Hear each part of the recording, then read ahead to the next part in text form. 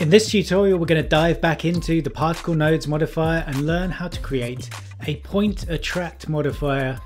So let's get started. Hi, my name's Andy Needham. I'm a freelance senior motion designer based in London, and I really appreciate you being here. Thanks for checking out the channel.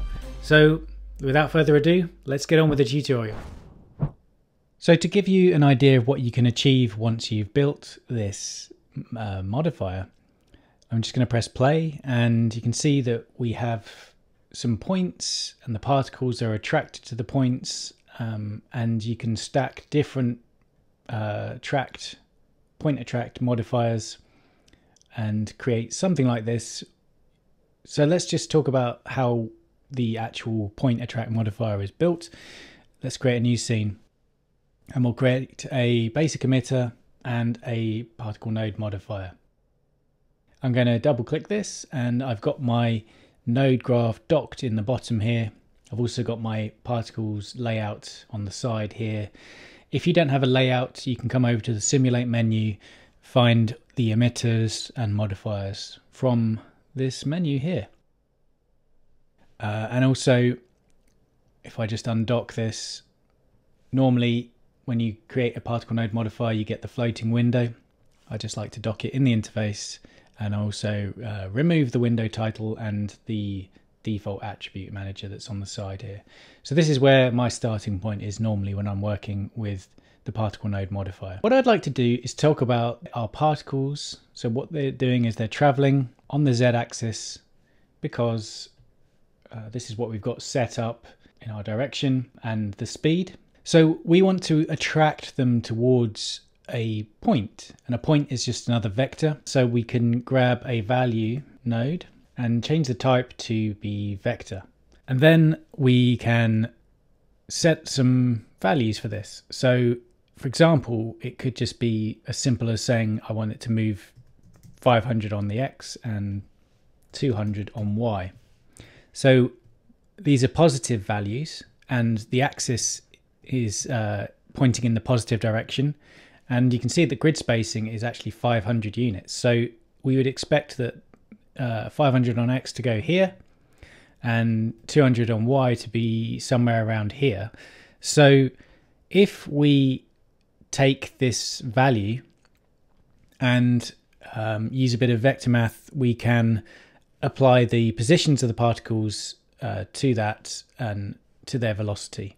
So we need a an arithmetic node and I'm going to subtract uh, the vectors. So we can type in uh, sub, or we could type in the minus symbol or the word minus, right? And this, you can see in the brackets here in the parentheses, these are the terms you can use to call up the arithmetic node and the operation that it's going to use.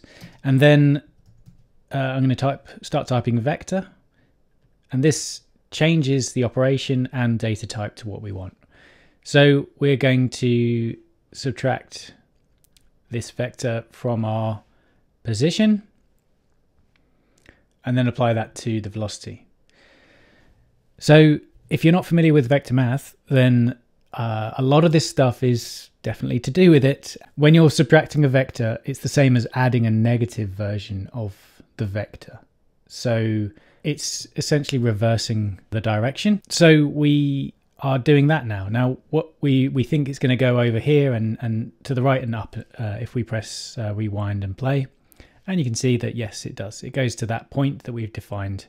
And we could then make changes to this. So it could go um, minus 300 in the z-axis. And it will go now backwards. So they're now going backwards. You can see the positive z-axis is the blue handle here. So we have a point that we can tell our particles to travel in. And this is pretty cool. But wouldn't this be more useful if the point was something in the viewport that we could actually have control on and have a visual indication of where it um, actually is. So I'm thinking a null object. Okay, so this could be our point. And this null is currently here. Now let's change the shape to be a locator and increase the size. Maybe 50 might be a bit easier to see on the recording.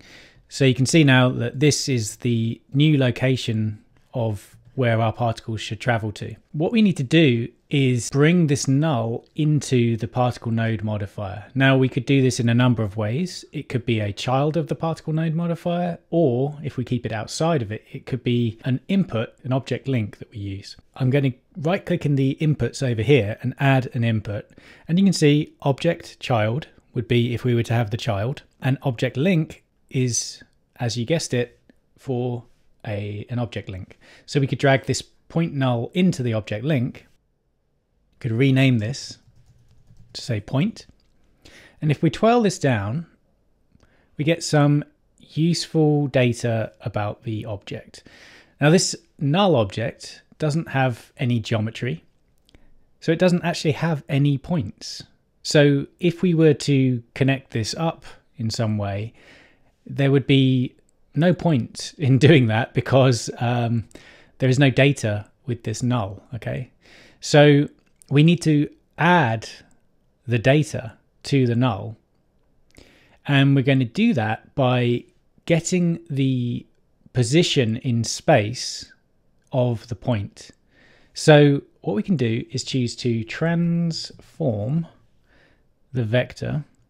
We're not going to do the vector, we're going to transform the point. So we need a matrix, and this tells us the, this tells us where this object is in 3D space, and a vector. Now we could plug in a value like so, right?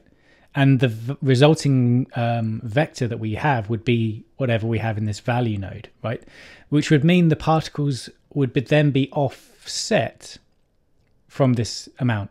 Now I don't want that. I want them to be at 0, 0, 0 so that the particles go to the center point here of the axis on the null. So we don't need this anymore.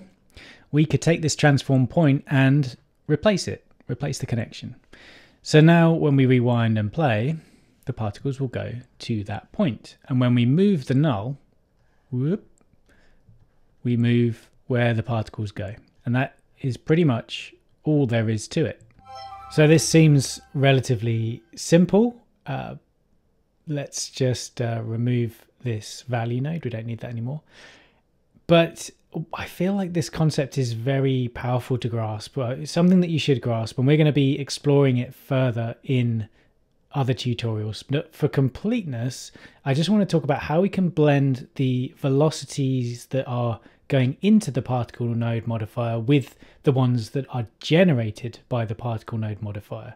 If we were to add some turbulence to this scene, let's add that and let's just um, increase the scale, increase the amount. You'll see that, yeah, we get a little bit going on. Let's increase the number of uh, frames we have as well.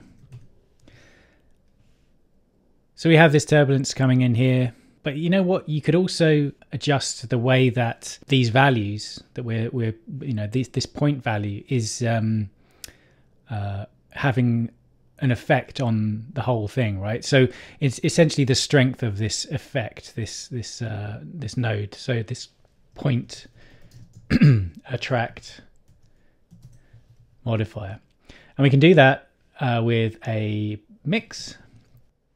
So I'll grab a mix, drop it on the wire and I, I want this to be when when it's at 100% i want the modifier to be in control and when it's at zero i want just the velocity that is going into the modifier to be uh, in control right?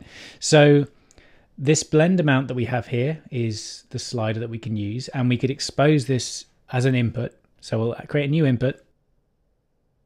And when we click on here we can see we've got our blend value. So if at 100%, this is exactly where we were, right? And then at zero, we have just whatever the particle direction uh, and velocity is plus turbulence.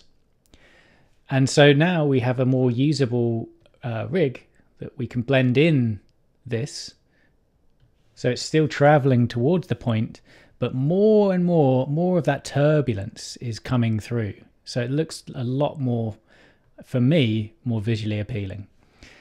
And so with that said, this is uh, essentially like this is essentially the principles of, of the whole effect that I was talking about at the top here. So if we go back to um, my original scene, um, I've used a, a, scale just to increase some of the speed, and that's something I can talk about in another tutorial. But if you want to support me and support the channel, you can get this project file and dig around at it and uh, have a look for yourself how it's all put together.